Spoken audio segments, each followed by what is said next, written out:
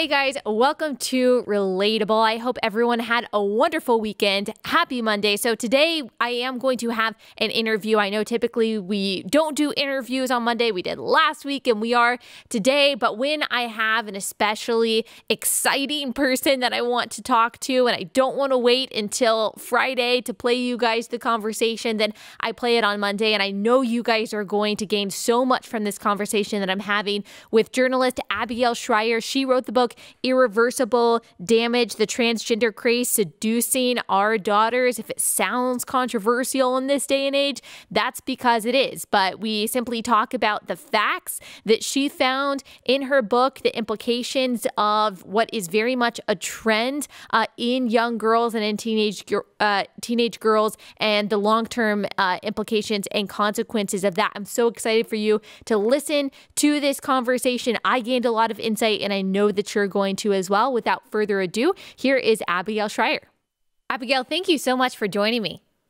Thank you so much for having me on. Could you tell everyone who you are and what you do? Sure, I'm a journalist. I write most often for the Wall Street Journal, and I'm I'm here because I wrote a book, uh, "Irreversible Damage: The Transgender Craze Seducing Our Daughters." Can you tell everyone how you came upon this subject and decided to write a book about it?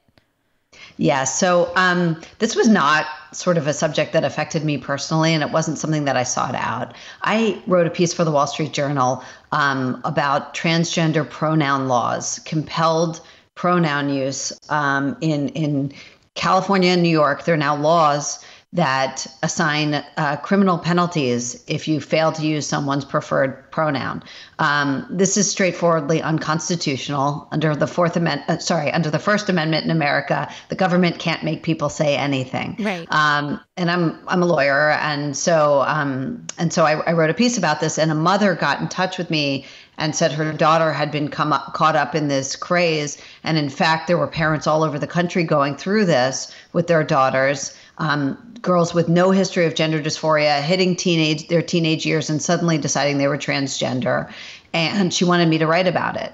And uh, at the time i thought well that's that's the last thing i need is to wade into this. Mm-hmm. um, so I, I, passed it on to another journalist but what i found found was that no one wanted to write about this. Mm. um, so after waiting for a few months I, I got back in touch with the woman and what was what was that process like when you reached out to this woman and kind of had the conversation? How did that develop into the story that i guess then laid the basis for this book?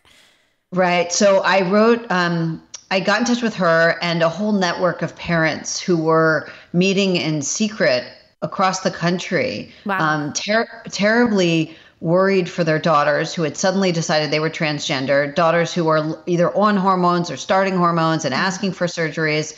And all these parents, almost overwhelmingly, they were politically progressive, but they didn't, they accepted gay marriage. They had no issue with that. They even would have accepted a gay daughter, but they didn't think this transgender identification was authentic and they didn't think it was doing their daughter any good.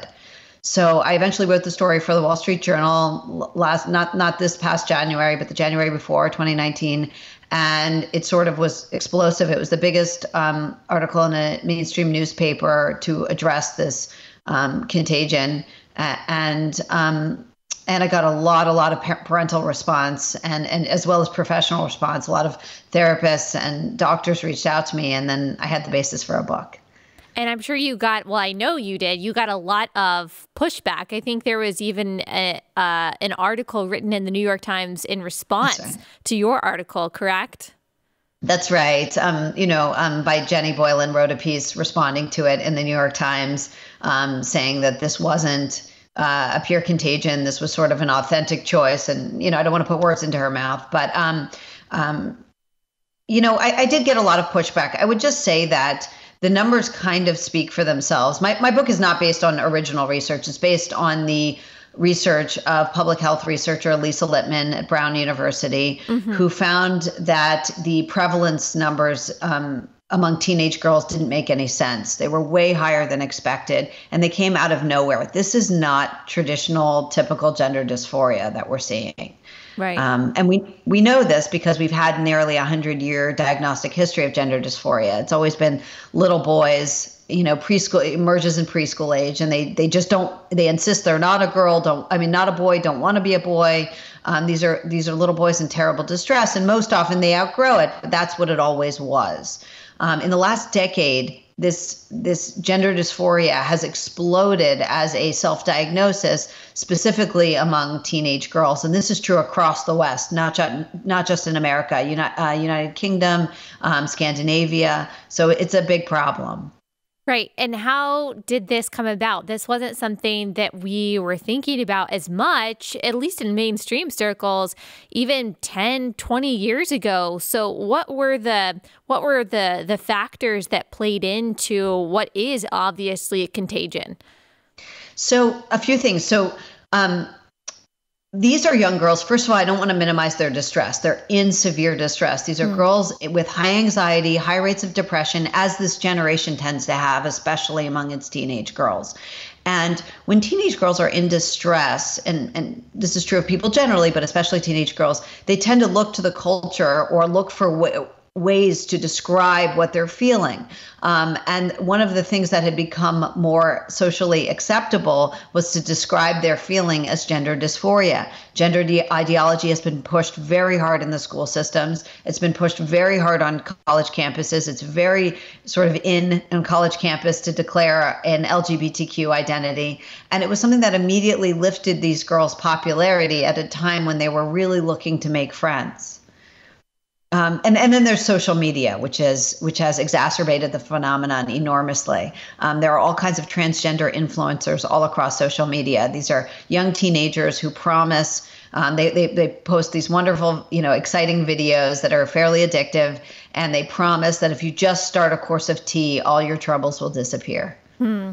And so, would you say that most of these young women who are kind of suddenly saying, "Okay, when uh, when they're a teenager, that I am transgender, I no longer feel that I'm a girl anymore," would you say typically what led to that was a feeling of being an outsider in other ways and in uh, an inability to kind of fit in socially that maybe pushed them in that direction? That that's exactly right. So this is the same old, you know, age old trouble with adolescence that young women have always had. Their bodies are changing fast. Social rules seem to change on them, you know, all the time with cliques, navigating cliques at school. These girls are very h- highly precocious. They tend to be, um, you know, um, white, middle, and upper middle class girls, highly educated parents. They have a lot of pressure on them, and they're not fitting in in school so easily. And um, the way other girls might have, you know, in prior eras, these same girls would have reached for anorexia or cutting or bulimia, which were, you know, at various points very popular. But today, the thing to do is to decide that your your real problem is your gender and that you're supposed to be a boy. I gotcha. And what is the typical response for a young woman who, in high school or in college, maybe they don't go to their parents, but they go to um, a school counselor or maybe an administrator and say, "This is how this is how I feel. I want to be a boy now," or maybe they, you know, somehow they have access to a doctor without their parents what happens from from there when these young women are affirmed in their newfound male identity? Right so um the thing that makes this so different and the reason it has spread like it has spread so rapidly like wildfire is that um no high school principal celebrates a kid with bulimia. No, hmm. no therapist says to a kid who says they're bulimic, "That's oh, if you're bulimic, then I, you know, that that's great. I'll call you whatever you want. Let's let's help you get a, um, you know, liposuction hmm. um, to help you deal with your fat. Um, but that is what's happening across schools. The the school will change a child's. This is this is true throughout California, New York, New Jersey. They will. Um, take the child's name, new name and pronouns. They will keep this from the parent. They keep it secret from the parent. And the child is then encouraged to use the opposite sex bathrooms of their choice. They, they stay with the boys on the overnight trip and they are treated as a boy in school um, without the parent's knowledge. So it tends to solidify the identity in the child's mind. And at what age can these young women um, start taking testosterone and going down the path of so called transitioning? So the age of medical consent varies by state. In in Oregon, it is 15, and it's not only that they can get these drugs so young, but they get them so easily. So um, you don't even need a therapist's note. You don't need anyone to confirm your diagnosis of gender dysphoria. You simply self diagnose. You show up at a clinic and say, and it can even be Planned Parenthood. Planned Parenthood is one of the major um, uh, suppliers of testosterone across wow. the country. So you go into Planned Parenthood and you say, I have gender dysphoria. I've always hated being a girl. I'm really a boy. And they say, okay, sign these forms. Here's your testosterone. Wow. And I I wonder what brought us here to the point of being able to so easily accept something that for a very long time we recognized as a dysphoria. Like you said, we recognized the legitimacy of the distress that a lot of times young people felt in their own bodies and they were treated in such a way as as if they had this kind of dysphoria or dysmorphia. Uh, but we have transitioned into an attitude and a very aggressive posture of not just accepting it, not just um, saying, okay, you know, we'll call you by your pronouns, but actually helping people without the consent of their parents physically transition to me without any thought of the physical and psychological consequences uh, for that young person's life. Is that true? Yes. Um, one of the really insidious things about this craze is that it, the a- activists were able to, to really take over the professional medical professional organization so that almost every medical professional organization has adopted affirmative care as their standard meaning that when a pa- patient shows up and says i hate my body i hate that i'm i'm a girl i'm really a boy the the doctor has to agree with them. They have to affirm their self-diagnosis. There is no other mental illness. You know if a child shows up and says i hate i'm so fat i hate i hate my body please call me fatty the do- the mental health professional does not respond with okay fatty let's help right. you get liposuction. Right. But when a child says i have gender dysphoria i hate myself i'm really a boy the doctor is supposed to say okay jimmy what let's talk about how to get you the hormones you need so that's the standard. It's not because I've heard that it has to be persistent and consistent, uh, you know, for a certain number of years. Are you saying that the standard is actually a lot lower than that? So that is the that's the DSM definition in the diagno- you know the diagnostic manual that's most you know the psychiatric manual is used in uh, they that is the definition of gender dysphoria. They require you know consistent, persistent feeling and biological sex but no doctors are checking for that, right? Mm-hmm. So the patient comes in and says, I have felt this way since I was a child. And they'll be coached on social media exactly what to tell the, the clinics. And by the way, it's often not even a doctor they see. Mm. Um, they, they, they self diagnose, and it's on the basis of the self diagnosis that they're given medication. What are some of the physical consequences of young girls and teenagers altering their hormones and altering their bodies to try to fit what they believe is their new gender identity. So the the really insidious thing here is there there's good stuff and bad. So the stuff that's good, the good effects of, for instance, testosterone, and these girls are taking massive doses um, or it suppresses anxiety so they feel better. It delivers hmm. euphoria so they can't wait to tell their friends how great it is. Um, and it, it even helps them treat it even helps them treat depression and it also redistributes fat. So girls who have changing bodies, who maybe are having trouble controlling their weight for the first times in their lives, all of a sudden that's taken care of. So they feel great. The hmm. problem is, of course, uh, long term, it there's a a very large risk of infertility. Very, uh, if they've been on it for five years, um, doctors will recommend a prophylactic hysterectomy. Um, it will add body hair and facial hair in ways that don't go away. It alters body feet. It also it alters facial features and it lowers the voice. Um, it also changes a girl's private anatomy, and and that does not seem to go away even if you after you go off of it. So these girls who, uh, for a lot of them, decided to transition in this way because they previously felt, you know, socially isolated or that they weren't celebrated or accepted. Do most of them in your in your study and your experience find that acceptance and that celebration and that self confidence that they were looking for? So, if these girls were thriving, I wouldn't have written this book. Right. If if if the book was just about, you know, these girls decide they're transgender, but they get they go to college, they get great jobs, they have great friends, they're so happy. There's not a book to write. Maybe it is better to to transition in that case.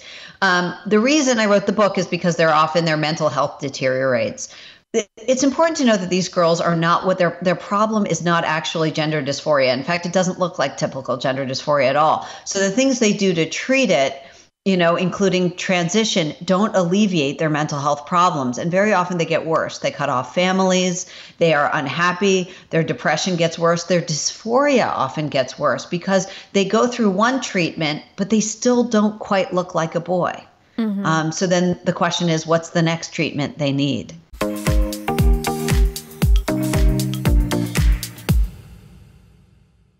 Want to talk to you guys about your privacy on the internet. So, if you are not using a VPN, that means that your internet activity is open to your internet service provider, which means you are vulnerable to hacking and to data breaches and all of that stuff that you really don't want to deal with. And that is why I use ExpressVPN to protect me from all of that. The problem with big tech companies is that not only do they censor uh, the things that you read, but they also track what you do online. They track what you're searching for, the videos you watch, everything you click. Uh, they use this data to serve you ads and can match your activity to your offline identity using the device's unique IP address, which is pretty creepy. When I use ExpressVPN, these tech companies can't see my IP address at all. My identity is masked and anonymized by a secure VPN server. Plus, ExpressVPN also encrypts 100% of your data to protect you from hackers and all the bad guys on the internet, of which there are many. Does this sound complicated? Well, it's not. I promise, because I use it and I am not that technologically savvy, and it was super easy to install and use. ExpressVPN software takes just one minute to set up on your computer or phone, you tap one button and you are protected. So don't give these tech companies a free license to know everything about you and then turn around and sell off all of your information and your data. It is time to take back your privacy at expressvpn.com slash Allie. That's A-L-L-I-E. Visit my special link and you get an extra three months of ExpressVPN service for free. And who doesn't like to save money? Again, that is expressvpn.com slash Allie. Express expressvpn.com slash Allie to protect your data today.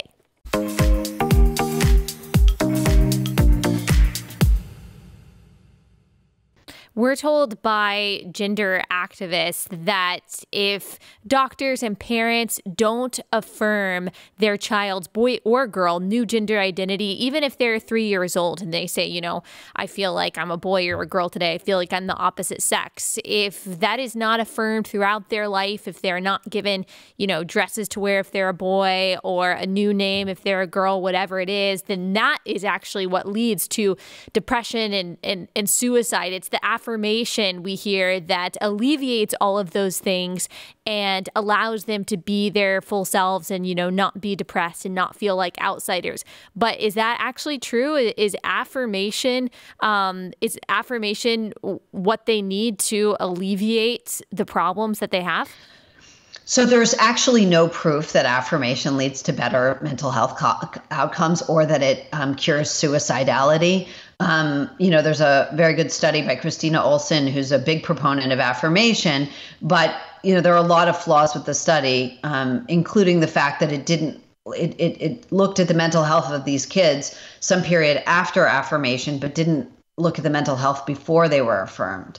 Um, it also relied on parental report, which is not not bad in of itself, but of course, the very parents who transition their young children are, are, were then asked, are they happier? And of course, there's a high incentive for them to say yes. After all, look what they just did to their their children. They, right. It's very hard for the same parents to admit that there might have been a problem. But there there's just been no indication that long term this cures suicidality, and in fact, the suicidality rates are extreme and suicidal ideation rates are extremely high even after affirmation and after medical intervention. So there, there's certainly no cure.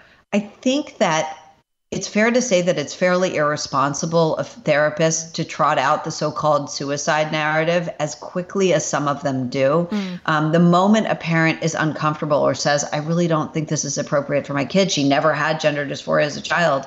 The therapist will often immediately hit them with, "Well, she may kill herself then." Wow. It's it's an incredibly um, coercive thing for a therapist to say. And I've heard from a lot of parents that it, it happens as an initial suggestion, not not even something that they have to work up to. Um, mm-hmm. How often do these young women um, want to transition back to being a woman? How often are there regrets? So we don't know the rates yet. Um, obviously, this has been an explosive phenomenon in the last 10 years, so we're still waiting to find out. I can tell you that I've interviewed a lot of detransitioners because, of course, gender dysphoria was never really, you know, typical gender dysphoria was never really their problem. This is very often no solution. So I've interviewed a lot of women with a lot of regret. I can only tell you that the detransitioner group on Reddit. Um, now has 13,000 members. So we know that there's a and and the early fast the earlier time that I checked, I guess six months prior, it had only 7,000, I think.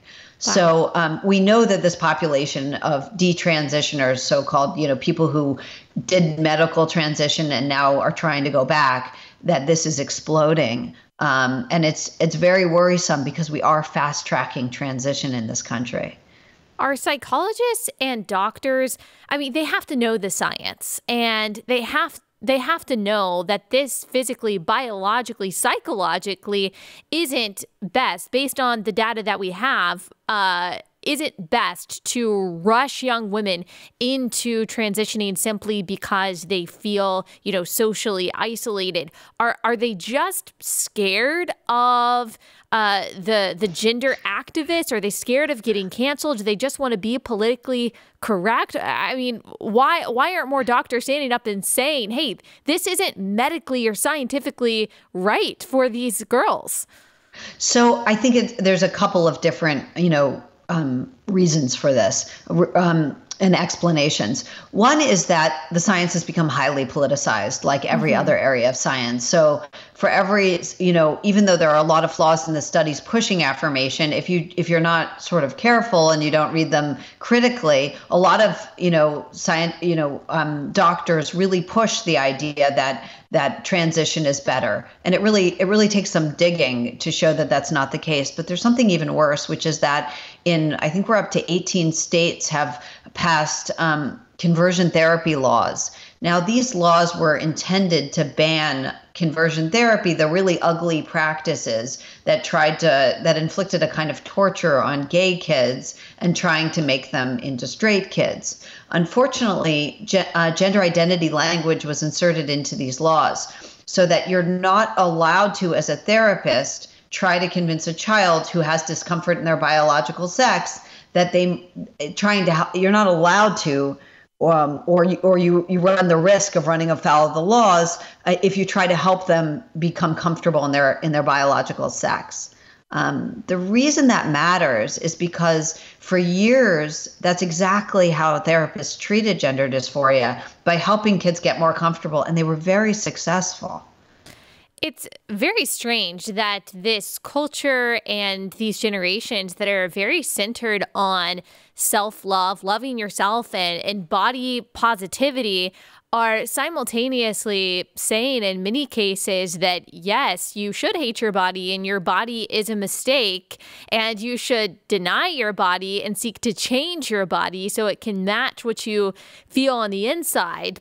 But it, to me, I mean, that is obviously contradictory. If we're talking about the importance of appreciating your body and appreciating, you know, how God made you, we should say, you know, your body actually isn't a mistake. And it's okay if you are a girl who likes to play sports, if you're a girl who doesn't like to wear dresses, if you are a girl who is, you know, more tomboy or more traditionally masculine. We don't have to abide by every gender stereotype that has ever existed. But that doesn't mean that you need to alter your body hormonally and even surgically. Uh, where what happened? Like when did we jump the shark from saying okay, gender stereotypes don't have to be abided by, but it's okay for you to be who you are, to actually gender stereotypes do have to be abided by, and you have to change who you are to match them. I'm just a little bit confused. Right. Well, it's not good today to be a white girl. And a lot of these, it's hard to miss that a lot of these are white girls. Hmm. So I don't think it's great to have a white girl body. They're told in so many ways that it's better to be a boy and it's even better to have a victim status. Hmm. And that's what this gives them. It's the only victim status that they can choose for themselves. They can't choose to be poor because they're not. They can't choose to be minorities. They can't even necessarily choose to be gay, but they can choose to be trans. Mm-hmm. Um, so it's a way that young girls can get popularity and sympathy in schools and in the university. Ugh, that just breaks my heart. You have gotten even uh, pushback for this book from places like Amazon who said that they weren't going to allow your book to advertise. Is that correct? That's that's right. They're they are they advertise all kinds of books that are so excited for teenage girls with no childhood history of gender dysphoria to medically transition and change their bodies in irreversible ways. But if you have a book that's skeptical of that, they don't allow you to promote it. Wow, that's amazing. And they didn't change their mind. I'm sure that you guys kind of asked them, what's the deal with this? And did they have a response? Yes, they said that it um, I think it ran. They said that it was um, offensive conduct. It, it wow. contained offensive content, which is interesting because right next to my book, depending on what search terms you enter, you will get silicone undergarments for trans, you know, biological men, so that they, you know, have the undergarments to look like they have the anatomy of women. That's that's okay. You can sponsor ads for that. But but my book that's skeptical that these girls are in, are heading anywhere good. That's that's not allowed. That's offensive. Mm, that is crazy. Um, can you talk about the other side of this as well? Not for young women who are transitioning, but also for young women who um, are now having their exclusively female spaces invaded um, by biological males in the name of tolerance and inclusion. What's the future of female sports, female bathrooms, female locker rooms? Right. So I think the future is bleak, and I think young girls have figured that out. They know that the culture has turned against them. Part of the part of the crisis that they're experiencing is not just routine adolescent crisis, but also the fact that um, they they know that when that that they've noticed that mediocre boy athletes are now allowed to outcompete them, even if they've worked very, very hard. Right. Um, they know that biological men who claim to be women are now allowed in their locker rooms because it's happened. And, and they know that it's just not that esteemed or great right now to be a girl. Um, mm. So, yeah, I think that's having a big effect. What's amazing to me, because you mentioned it's not that great to be a white girl, it's not that great to be a girl right now. Where are the the feminist groups talking about this who claim to be for the empowerment and the protection of young women? I mean, I know there are feminists who are doing that. Um, J.K. Rowling, for example, speaking up about some of the just illogic of this movement. But it seems like feminism at large right now is all on board with transgender ideology at the expense of the safety and the well being of girls. That's right. There are a few wonderful organizations, but very few. Um, Women's Liberation Front is very good on this. But most of the feminist organizations, it turned out, were more interested in being woke than in protecting young girls. So they've been silent on this issue and they can't wait to celebrate trans. Um, biological boys who say they're trans women. Um, they they insist that they are really women. They can't wait to give away young girls hard-earned trophies and scholarships. Um, they they really they were so fast to abandon girls. Wow, that's amazing. Um, can you can you give us any encouragement? This is very I, it's discouraging for me to hear. It's discouraging for i have a lot of moms that listen to this podcast a lot of moms of young girls who are scared. They're doing their best of course to protect their children. And i think that you know one positive of all of this is that moms and dads are are waking up to this kind of stuff that we can't just kind of um, idly watch our kids grow up and trust their schools to raise them and to provide them with the direction that we want them to. And so hopefully parents are getting more involved. But can you give some encouragement or advice sure. to parents um, who want to make sure that they are protecting and guiding their kids as, as wisely as they possibly can? So I have a lot of encouragement and advice for, for parents in the book. And, and one thing I'll say is that the generation that was raising kids when the iPhone originally came out in 2007 had it really hard because they had no idea of the dangers of the right, iPhone. Right. Both how addictive, how isolating, and how much anxiety and mental health distress they were producing in young girls. We, we now have a mental health crisis that we get among teenage girls that we can pretty precisely pinpoint to the introduction of social media, which has really tormented them. You know, girls who always compared themselves to other girls. One thing parents can do is, first of all, to, they, they've got to get their kids off social media. These girls need to spend more time with friends in person talking. Mm. Um, that that's a that's a big thing that we're missing today. That's so important for young girls. They need to know that they're not alone, and social media doesn't doesn't give them that. Um, another thing is that parents need to be aware of the gender ideology being pushed in the schools, and they need to stop believing the lie that you need to push gender ideology in the schools in order to stop bullying. It's simply not true. A school can oppose bullying of all and any children on any basis without introducing gender confusion into the schools. Mm-hmm. And how can parents speak up to their schools without, uh, you know, I mean, a lot of them fear getting slammed or even fear having their lives ruined. Nowadays, it's just normal to dox people and call them Karen because they say something that you don't like. Um, is there a kind of a strategy that parents can employ to productively have a dialogue with school administration or the school board, whatever it is, about these kinds of policies? Well, that's why I wrote the book. I wrote the book to provide that. I mean, the book is not political, it's not religious. I kept everything to do with those things out of it. It's just a journalistic, you know, skeptical exploration. And I talked to everybody, I talked to people on both sides. Um, because I really wanted to investigate what was going on, how are these girls faring, and what could we do about it. And and that's what I did. I really hope to provide ammunition to helping parents fight for their girls. Mm, can you tell everyone where they can purchase your book and where they can find you on social media? Sure. Um, I'm on Twitter at Abigail, Abigail Shrier uh, on Twitter. And then um, the book can be purchased on Amazon, Barnes & Noble, and Books A Million, wherever books are sold. Awesome. Well, thank you so much. This was a great conversation, and I am loving your book. I'm reading it right now, and I know that there are going to be lots and lots of people who go out right now and uh, and order your book. Is it at? I, I'm guessing it's also at local bookstores that people can support and go out and buy the book as well. I, I, think it is. I think it is. I haven't actually entered one in a while, but I, I think it is. Right. Well, I encourage people to do that and uh, maybe even instead of buying it on Amazon just to support their local bookstore. But yeah. thank you so much thank for your you. time. I really appreciate it.